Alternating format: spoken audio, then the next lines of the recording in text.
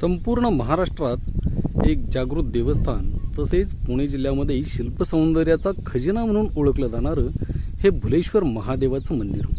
या भुलेश्वर मंदिराच्या पायथ्याला दौंड आणि पुरंदर तालुक्यांना जोडणारा हा भुलेश्वरचा घाट.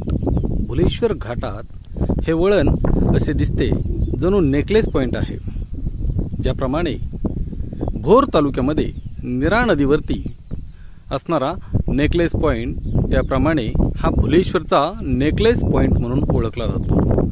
या नेकलेस पॉईंटच्या वरच्या बाजूला एक पाण्याचा बंधारा तुडुंब भरलेला आहे.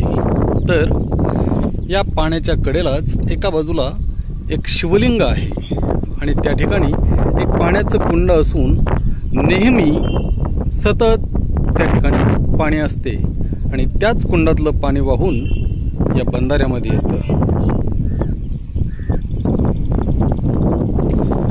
गेल्या सात महिन्यापासून कोरोना या विषाणूजन्य आजाराच्या पार्श्वभूमीवर भुलेश्वर मंदिर दर्शनासाठी बंद आहे.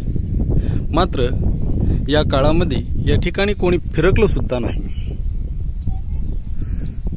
यावर्षी योगायोगाने पाऊस या भागामध्ये भरपूर झाल्यामुळे या ठिकाणी निसर्गाने जणू मुक्त हस्ताने उधळण केल्याचे दिसते. निसर्गाच्या या मुक्त हस्ताने केलेल्या उधळणमुळे हा नेकलेस पॉईंट बहरलेला दिसतोय.